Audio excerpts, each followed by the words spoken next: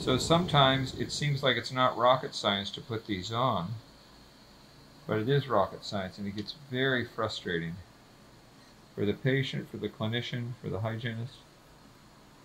And again, this is just one more thing with the screw retained restoration that you've got to deal with. And that's what makes RODO so nice, is I don't have to deal with this.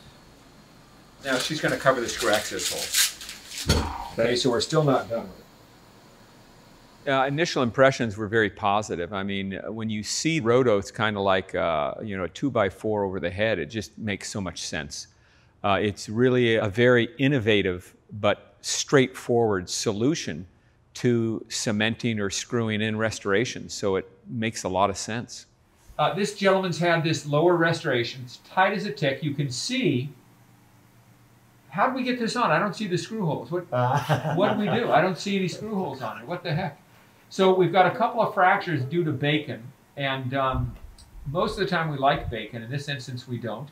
So what we're going to do is take this off, and I'm I've got a really hectic schedule today, oh. and so um, Maggie's going to do it because she's the bomb. Okay, mm-hmm. remember she's in EF two and she teaches up at UOP, and so she's great. Um, so we're going to do that, and we're going to um, just repair this, and then we'll get it back on there.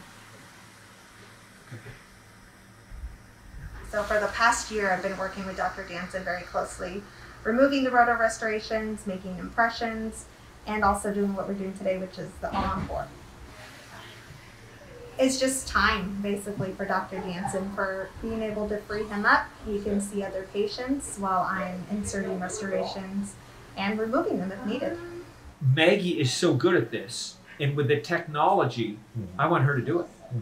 because that's how easy it is. It's wow. so straightforward. This is the vacuum form that we make, and it shows us where all the implants are located. You can see it's got the marks there. Okay. So it just shows us where the implants are located. That way you know exactly where to put the smile key when you're using it. And you can see it runs buccal to lingual too.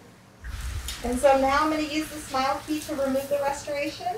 Just let me know if anything's uncomfortable while I'm working, okay? This is going to go for eight seconds here. Okay. Go ahead and open a little bit.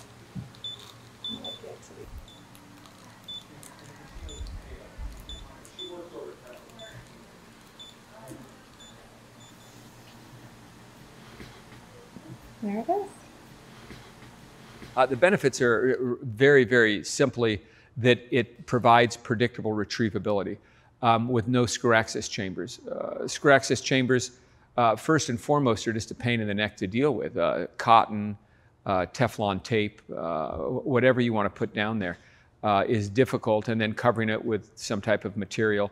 It can get away your occlusion. also, it can, you know, cause issues where you can't do it because of the screw access channel. So, RODO takes that screw access channel out of the, the equation and it offers predictability of retrievability because of the induction unit, which is absolutely fantastic.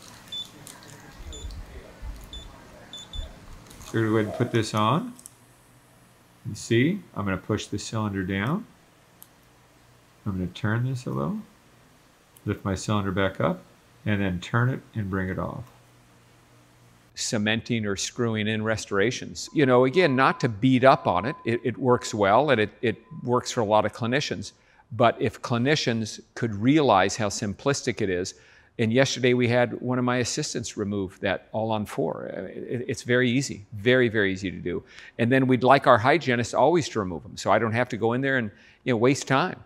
And it's much easier to do with RODO, much easier.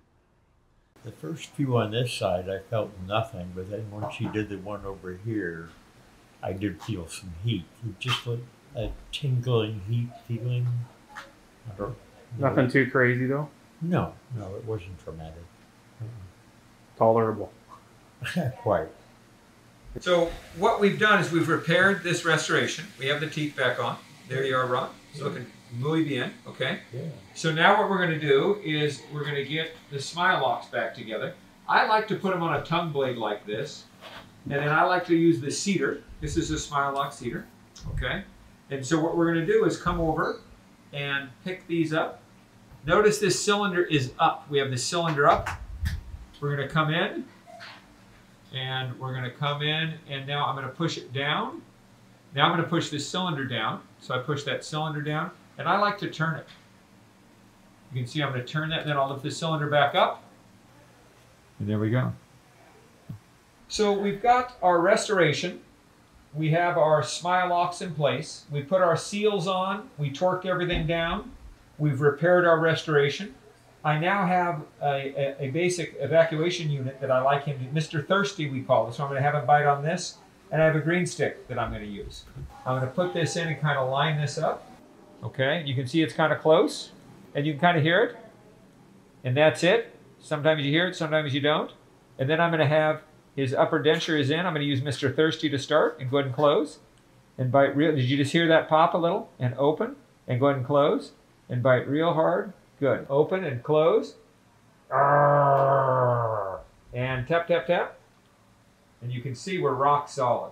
Rock solid. What did that take us to put the Smilelocs on? You know, um, it took maybe a couple of minutes, and then to seat it, it takes maybe 30 seconds to a minute.